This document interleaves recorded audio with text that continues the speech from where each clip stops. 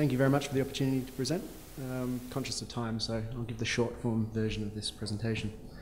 Um, rather than sort of getting too deep into the laws, um, presenting to lawyers, uh, and, and, in any event, my colleagues are doing that with UAE and China. I thought I'd just give a bit of an insight into uh, arbitration from a contractor's perspective. Um, as I was introduced, I was in private practice until late last year.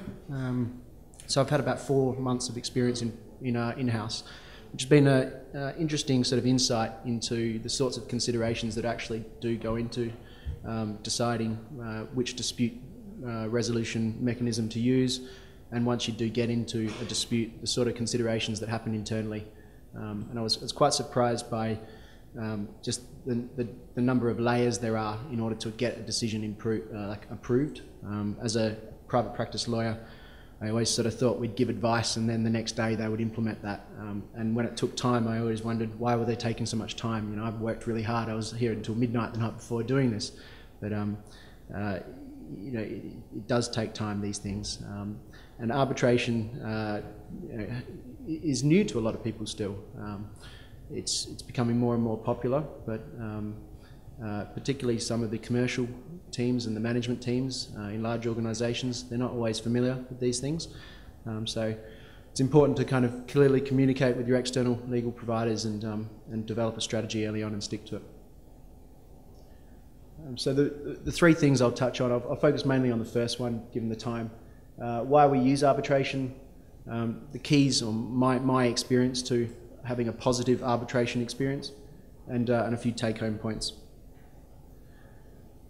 So uh, my organisation, Petrofac, is an international oil and gas uh, company, um, and, and like sort of a lot of large international contractors, we, we put forward sort of many, many bids a year. Um, we can cover bids in countries up to sort of sometimes 30 different countries a year. Um, practically speaking, it's absolutely impossible for us to have a uh, complete understanding of the laws of all of those countries that we're putting bids in for. So if we were resigned to having to resolve future disputes in the court systems, um, we would be paying uh, endless amounts to the local lawyers to resolve those things, um, and, and, and that assumes as though we even get on top of what those laws are. Um, but arbitration does present a bit of a solution. Um, you can get familiar uh, with different procedures by um, having some consistency in your contracts. Um, so if you, if you use LCIA arbitration in London, you're going to have a pretty good idea of how the procedure is going to run, even if the next time you have a dispute, it's a different arbitral tribunal. Um, so the flexibility of arbitration is, um, is, is, critical. Um, it, it, helps international businesses flourish. Um, the second one, expertise of decision makers, uh, is another really important consideration. Um, most of the big projects that go to arbitration, you'll have three arbitrators. Often one is selected by each of the parties, and then the third one is, a, is the chairman selected by the two party appointed arbitrators. If you have a, an intricate um, dispute regarding the building of a pipeline or a refinery in Iraq or a gas um, processing plant in Australia, wherever the case might be, um, you don't want to be spending endless amounts of time trying to educate that decision maker um, what, about what the dispute involves. Um, you, you, you, ideally want them to have a pretty good starting point. Um, so uh, if, if, for example, it is a gas processing plant in Australia, you know, we would ordinarily look to appoint an arbitrator that's got some Australian experience and ideally some, you know, some engineering experience, um, particularly with gas processing plants. Um, you don't always get that luxury. If it, if it goes to, through a different dispute resolution mechanism like a court, um, often you kind of, you're stuck with who's appointed to you. Um, and with all respect to the judges, and they do a, marvellous job, but um, sometimes an arbitrator uh, will be um, more suitable for that particular dispute. Um, enforceability has been touched on, um, but uh, it'd be negligent of me not to kind of put my two cents in.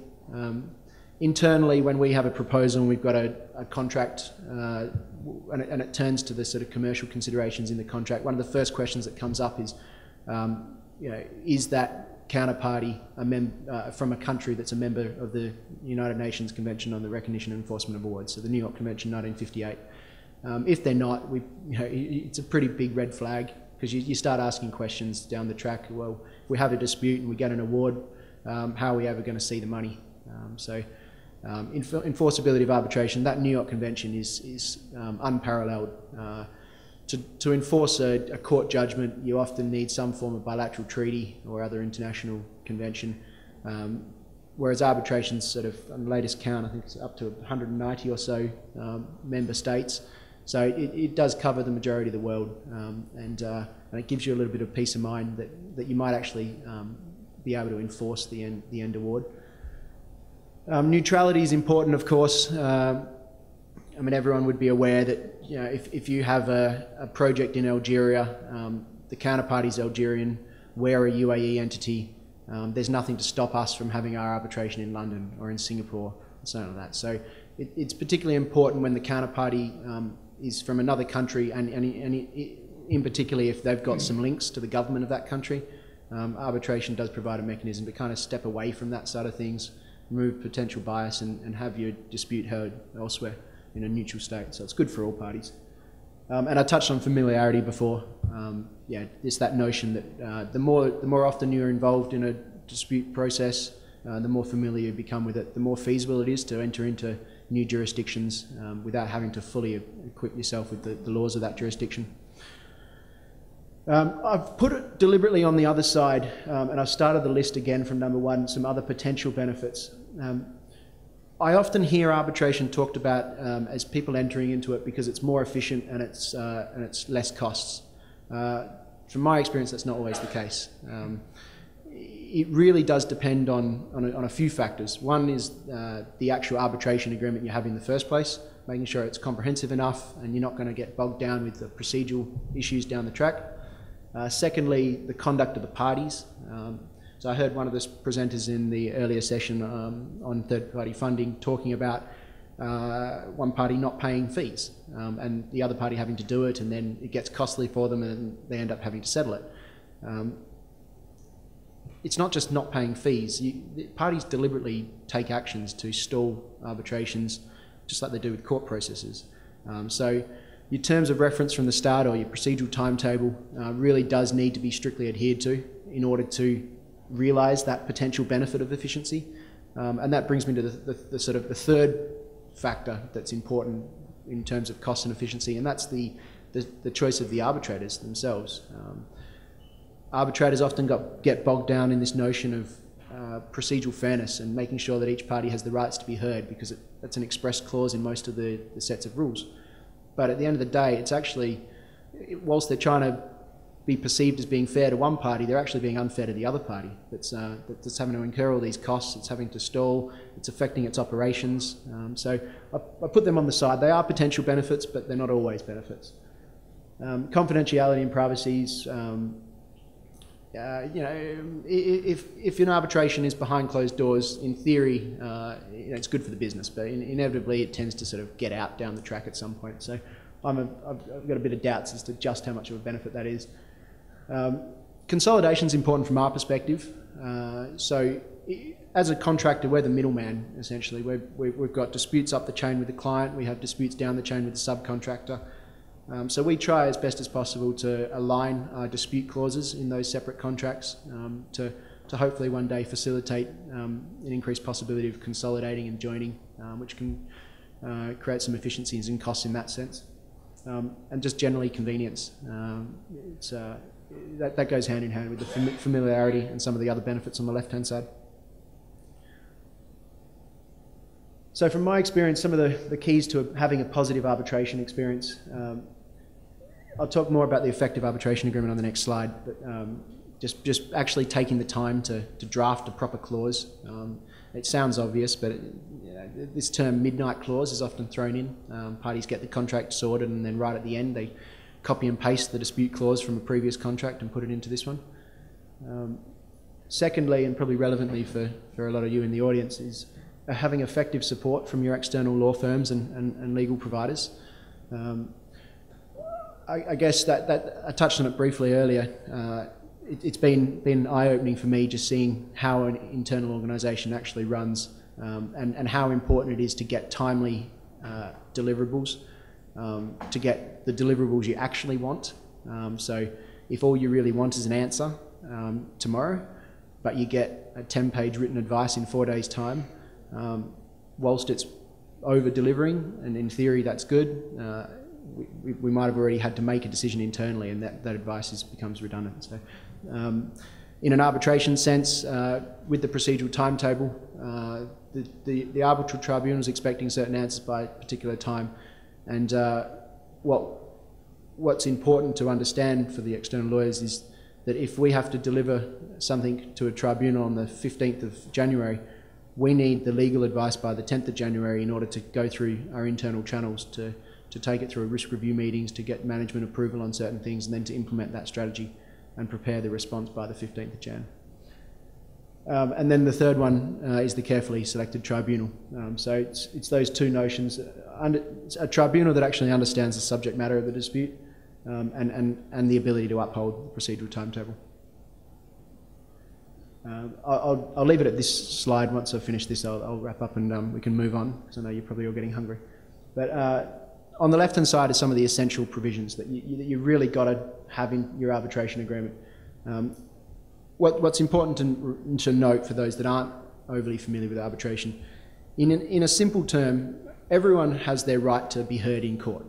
Human beings and um, in, in their individual capacity or, or companies whenever you've got a dispute, you, your default position is that you have your right to your day in court. So by choosing arbitration, you are waiving that right.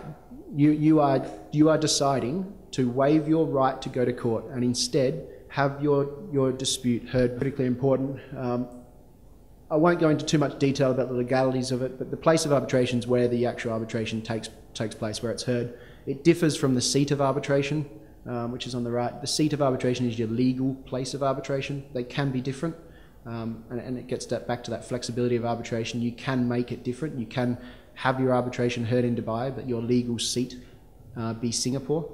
Um, so, in terms of enforcement, it would need to comply with Singapore's requirements, um, but that's getting quite technical.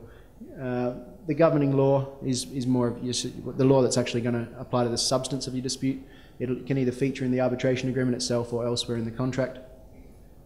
Uh, the rules of arbitration are your procedural mechanism, um, so that's your LCIA rules or your ICC rules or, or the DIAC rules. Um, and probably most importantly and most surprisingly is how often you, you see in contracts an arbitration clause that's then subsequently followed by the right for a party to go to court. Um, and often it actually says things like um, any disputes uh, will be resolved by arbitration in accordance with X and Y rules. Um, and then the next clause will say the parties consent to um, the exclusive jurisdiction of the courts of London. Now, the two are, the two are completely contradictory. Um, so ensuring that your actual arbitration agreement is, is the mechanism by which you will resolve disputes to the exclusion of courts is important because otherwise you can get bogged down in very long um, procedural and jurisdictional uh, issues between the parties. Um, in that sense, the courts do have a role. They they are supporting of arbitration. So if you need to help need help with appointing the tribunal, or, or the, but they're not uh, they're not a conflicting jurisdiction. It's one or the other. Um, so just uh, in, in, terms of just a, a few take-home points, um, spend the time to draft an effective arbitration agreement. Um, and if you don't get that right and you do go into a dispute, spend the time trying to negotiate with the other party to get appropriate terms of reference um, so that any loose ends that weren't dealt with in the arbitration agreement you agree to before the dispute gets too heated because once you're involved in the actual arbitration itself and, and there are any loose ends then one of the parties invariably is going to try and utilise that to their advantage, stall the arbitration and result in more cost. Um, communication is key um, with your external law firms, the other side, um, any legal support you have, any experts you have, quantum, delay, um, just getting everyone on the right page and developing that strategy, because otherwise it gets out of hand. Issues start, um, scope, you know, tangent issues arise, and um, and then finally, uh, like I've mentioned, the, suitably qualified uh, tribunal and um, one that's procedurally orientated so that they stick to the timeframes. Thanks very much.